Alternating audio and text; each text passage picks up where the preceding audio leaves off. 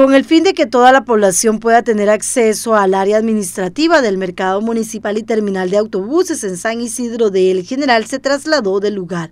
Anteriormente funcionaba en una segunda planta en la terminal de autobuses, donde no había acceso a la población con discapacidad, por lo que se tomó la decisión de buscar otro lugar.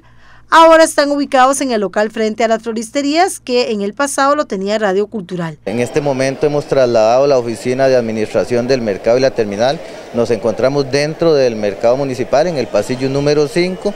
Es un proyecto sumamente importante por un tema de accesibilidad. Si bien es cierto, la oficina anterior se ubicaba en una segunda planta con un acceso a una escalera, no cumplía con la ley 7600.